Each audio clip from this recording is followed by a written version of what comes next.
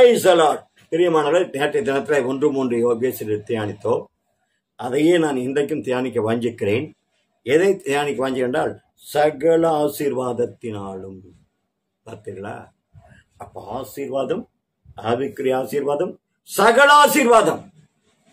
அதை கேட்பதற்கே இனிமையாக இல்லையா? கேட்பதற்கே ஒரு கலிகுதலாக இல்லையா? கேட்பதற்கே ஒரு ஆரவாரமாக இல்லையா? அதை கேட்கின்ற போது புலங்கா எத மனதில் உண்டாகவில்லையா? ஆண்டவரே ஆவிக்குரிய சகல ஆசீர்வாதத்தினாலும்.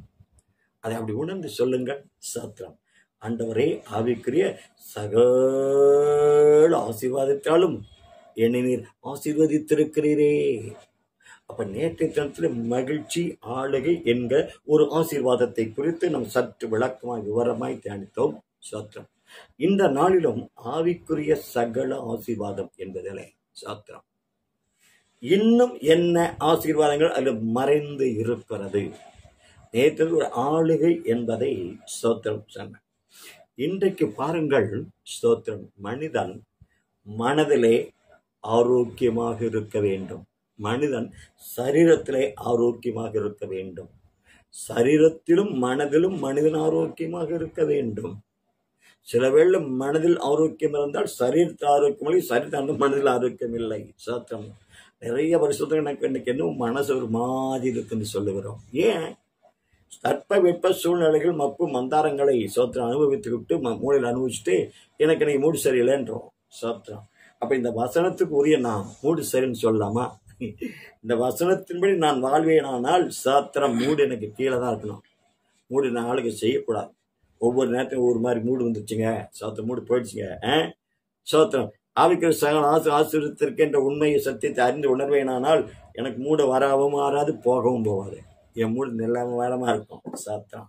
என்னுடைய சகல ஆசீர்வாதத்தை எல்லா மூடையும் சரி பண்ணிடும் சீர்படுத்திடும் ஸ்ட்ரென்தன் பண்ணிடும் சாத்திரம் ஆக முதலாவது ஆவிக்குரிய தேவ பிள்ளைகள் சாத்திரம் எனக்கு மூடு அவுட் ஆயிடுச்சு மூடு வந்துடுச்சு மூடு போயிடுச்சுன்னு சொல்லுவதை நிறுத்துங்க முதல்ல இங்கேயா மூடு வந்தது போனது? சாத்திரம் நான் ஆசீர்வாதத்துக்கு நான் ஆசீர்வதிக்கப்பட்டோம் ஆசீர்வாதத்துக்குள்ளே நான் இருக்கிறேன் எனக்குள்ள ஆசீர்வாதத்துக்கு எங்கள் உண்மையான தெளிவு இருக்கும் என்று சொன்னால் எப்படி மூடு வந்தது? மூடு போச்சு மூடு கெட்டு போச்சு. ஸ்தோத்திரம். சகல ஆசீர்வாதத்தினாலும். ம்?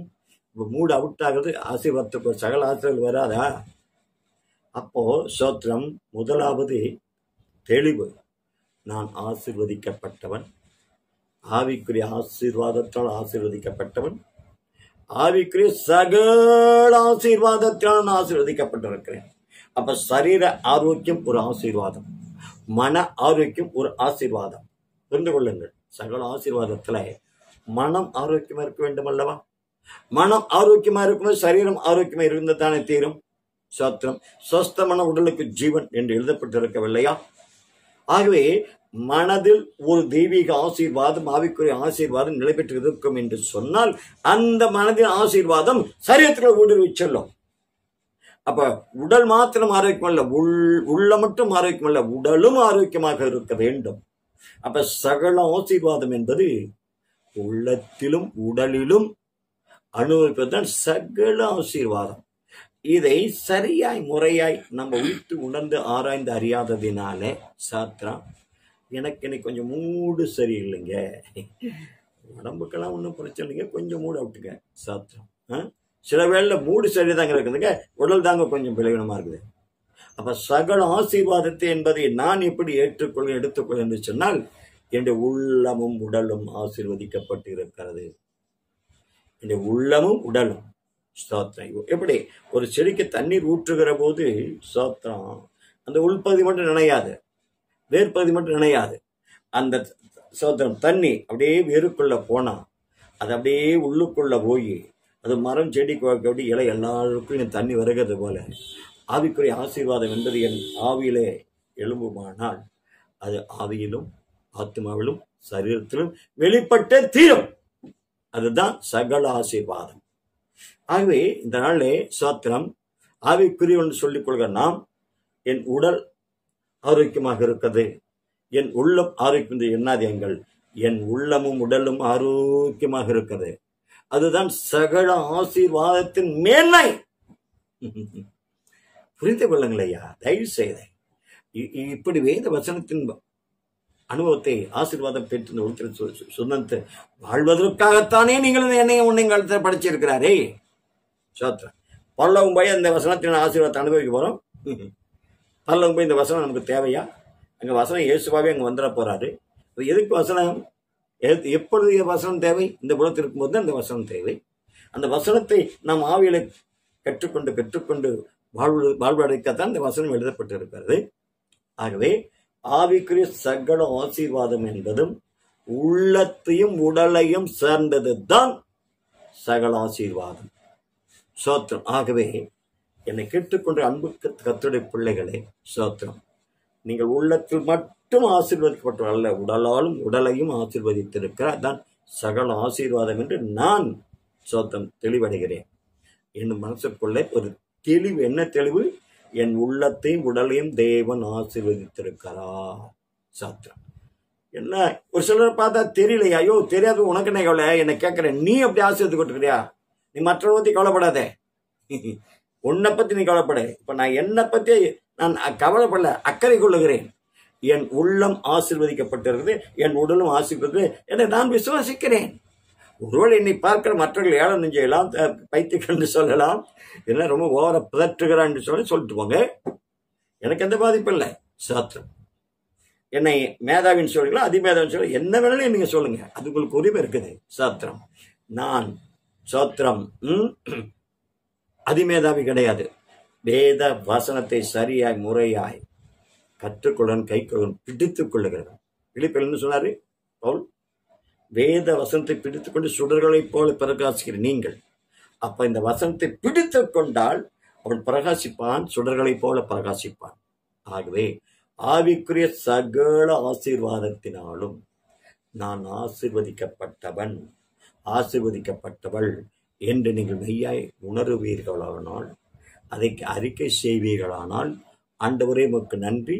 என் உள்ளத்தையும் உடலையும் ஆசீர்வதித்திருக்கிறீரே சோத்திரம் என்று நீங்கள் அறிந்து உணர்ந்து அறிக்கை செய்வீர் செய்யும் பட்சத்திலே நீங்கள் அந்த உடலில் உள்ளத்திலும் சரியான முறையான ஊக்கமான உறுதியான ஒரு ஆரோக்கியத்தை நீங்கள் அனுபவிப்பீர்கள்.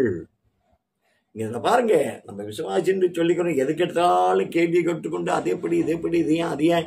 என்று கேள்வி கட்டுக்கொண்டேயா நீங்கள் விசுவாசி கலந்து வாடுவீங்க வாழுவீங்க. சாத்திரம். கேள்வி கேட்க விசுவாசம் கேள்வி நாள் வரும் கேள்வி தேவன வசனத்தில் தொடரும் சோதனம் நீங்கள் வாழ்க்கையில் கற்றுக்கொள்வதற்கு கேள்வி வரலாம் பெற்றுக்கொள்வதற்கு கேள்வி வரலாம். ஆனால் சோத்தை எதை இழந்து போக்குற மாதிரி கேட்காதீங்க. தயவு செய்து வசனத்தை வச்சுக்கிட்டு விளையாடாதீங்க. சோத்திரம். இதிலிருந்து இந்த வசனத்தில் என்னென்னலாம் நான் பெற்றுக்கொள்ள கூட முடியும் என்பதை ஆழமாய் நிதானங்கள் யோசியுங்க அதை விட்டுட்டு சொந்த இடமுடக்கத்தனமா சோத்திரம் இவன் நல்லா ஊக்கம் உற்சாகம் பேசுறவங்களோட கேலி கிண்டல் பண்ணிக்கிட்டு சோதனம் வாழாதீங்க சோத்திரம் இப்போ நான் ஆசீர்வாதத்தை சொந்தத்து வாழ்கிறேன். இதை கேட்கிறீர்கள். நீங்கள் ஒருவேளை என்ன ஒரு மாதிரி நினைக்கிறீங்க. நோ ப்ராப்ளம் எனக்கு எந்த பிரச்சனையும் கிடையாது. எனக்கு எந்த தோல்வியும் கிடையாது. எனக்கு எந்த நஷ்டமும் கிடையாது. சாத்திரம் இதை விசுவாசித்தா உங்களுக்கு நன்மை. விசுவாசிகளுக்கு நன்மை இல்லை. அவ்வளவுதான். சோத்திரம். ஆக இது- இதை புரிந்து கொள்ளுங்கள். இன்றைக்கு வசனத்தை சரியாய் முறையாய் கற்றுக்கொள்ள கை கொள்வது தான் பாடாக இருக்கிறது. விசுவாசிகள் கற்றுக்கொண்டுட்டே இருக்காங்க. தேவொழிகளை கற்றுக் கொடுக்க விருப்பமா இல்லை. வசனத்தை வசனத்தின்படி சொல்லிக் கொடுக்க ஆட்கள் இல்லை. சாத்திரம். ஆகவே புரிந்து கொள்ளுங்கள். தெய்வ பிள்ளைகளே பேசுகிற கேட்கணும் அனைவரும். ஆவிக்குரிய சகல ஆசிரியத்திலும் உள்ளத்தால் உடலாலும் ஆசிர்வதிக்கப்பட்டவன் நான். ஆகிய உடல் உள்ளத்தில் ஆரோக்கியம் உடலில் ஆரோக்கியம் சோத்திரம் முதலின் முழு வாழ்க்கையிலும் ஆரோக்கியம். அதுதான் ஆவிக்கிற சகல ஆசீர்வாதத்தின் அற்புதமான மேன்மை. சோத்திரம் ஆரோக்கியம். சோத்திரம் அப்ப ஆசீர்வாதம் ஆரோக்கியம். ஆரோக்கியம் ஆசீர்வாதம். அப்போ ஆசீர்வாதம் என்றால் நான் ஆரோக்கியம் உள்ளவன் புரிந்து விடுங்களா நீங்கள் ஒவ்வொருவரும் ஆவிக்குரிய ஆசீர்வாதத்தை உடையவர்கள் என்றால் ஆரோக்கியத்தை உடையவர்கள். கத்தவங்களை ஒவ்வொருவரையும் ஆவிக்கிற சகல ஆசீர்வாதத்திலும் ஆரோக்கியத்தாலும் மென்மேலும் ஆசீர்வதிப்பாராக. ஆமென். என்ன பிரியமானவர்களே தெய்வ ஆலோசனை கேட்டீர்களா? மெய்யாகவே மிகவும் பிரயோஜனமாக இருக்கிறது அல்லவா ஆகவே மற்றவர்களுக்கும் பிரயோஜனமாக இருக்கும்படி இந்த வீடியோவை லைக் பண்ணுங்க ஷேர் பண்ணுங்க. நம்ம சேனலை சப்ஸ்கிரைப் பண்ணுங்க. கர்த்தர் தாமே தங்களை ஆசை